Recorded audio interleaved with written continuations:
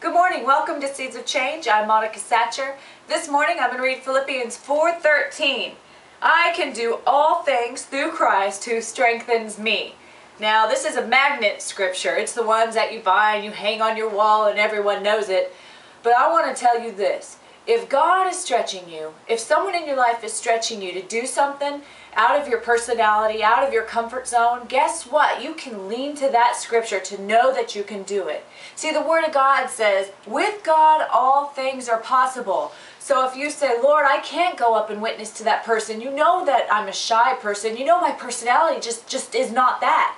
Guess what? That's a lie from Satan trying to bind you up, trying to keep you from the call of God in your life.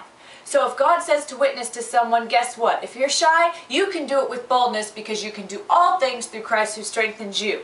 You can do it with God. If God says to have a confrontation, for instance, and you're non-confrontational, guess what?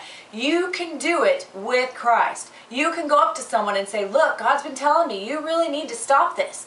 You guess what? If that's against your personality and God told you to do it, you need to do it and you can because God will be right there with you. So don't use your personality. Don't use your comfort zone as a crutch. Stand on Philippians 4:13. You can do it because God is right there with you. And guess what? If he didn't think you can, he wouldn't have told you to do it. I wanted to encourage you with that today. So let me pray for you real quick.